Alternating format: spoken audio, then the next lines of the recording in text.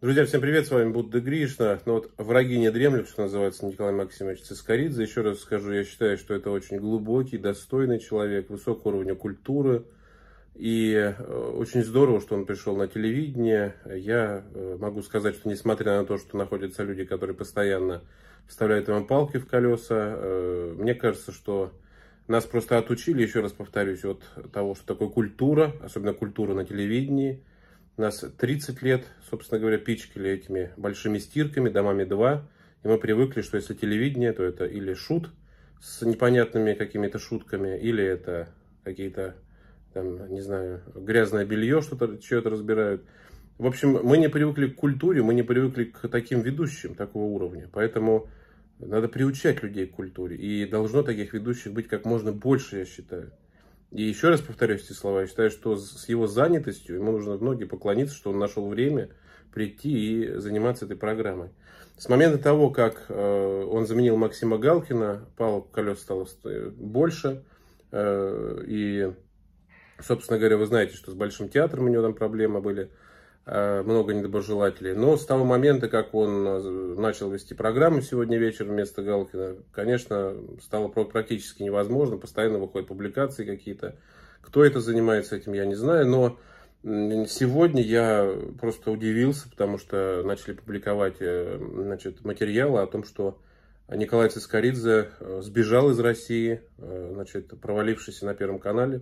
Цискоридзе тайно покинул Россию. Это самая такая легкая формулировка, сбежал, э, убежал, предатель и так далее. Друзья, такие люди, как Николай Максимович, никогда не уедут. Потому что совсем недавно, давая интервью, он очень четко сказал, я русский, я россиянин, и я горжусь своей страной, Россией. И я все всегда для нее сделаю и никуда не уеду. Несмотря на то, что, я думаю, специалисты его уровня приняли бы с распростертыми объятиями в любом государстве. Но он остается с Россией. Поэтому пытаться уж его в этом уличить или как-то очернить этим, конечно, я думаю, абсолютно бессмысленно. И я очень надеюсь, что как можно больше людей зайдет, перейдет по этому видео и увидит и услышит альтернативную точку зрения, нежели чем сейчас пытаются очернить его. Причем как пытаются, смешно. Все дело в том, что он поехал в Грузию, и вы знаете, что достаточно много наших соотечественников сейчас уезжают, какие-то сопредельные государства, в том числе в Грузию. Но вот что пишут, как удалось выяснить журналистам, значит, э, на днях Николай Максимович тайно покинул Россию, пишут. Значит, местом назначения стала родная для ректора Академии русского балета имени Вагановой Грузия. На днях телеведущего сняли в ресторане в прибрежном городе Батуми. Цискоридзе подловили в одном из ресторанов Батуми, э, где он с аппетитом обедал в компании сразу двух прекрасных незнакомок. Теперь фанаты могут не тревожиться, ведь их кумиром явно все в порядке и об унынии из-за провала на первом не может быть и речи.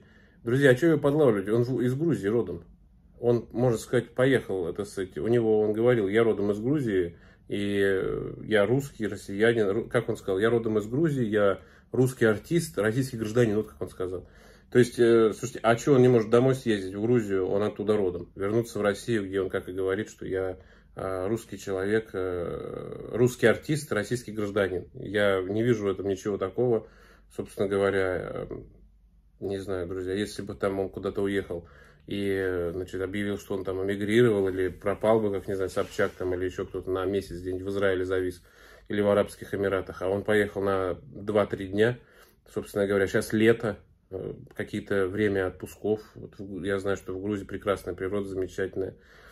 Поэтому не думаю, что стоит э, пытаться вот, очернить этим Николая Максимовича Тискоридзе. Никуда он, он, он уж свою академию точно никогда не бросит. И здорово было бы, если бы он вообще занялся культурой на стране. А, друзья, что думаете на сей счет? Пишите, пожалуйста, в комментариях. С вами был Будда Гришна. Подписывайтесь на канал, кому интересно. Ссылочка в закрепленном комментарии в описании к видео для поддержки канала. Кому нравятся мои ролики, можете поддержать проект Будда Гришна. Подписывайтесь на резервный запасной канал Будда Гришна Новости. Здесь YouTube, чтобы мы с вами не потеряли в случае чего. Телеграм-канал Будда Гришна Новости. Там политика, и не только политика, с моими комментариями. Успехов, здоровья, друзья. Всем пока. До встречи.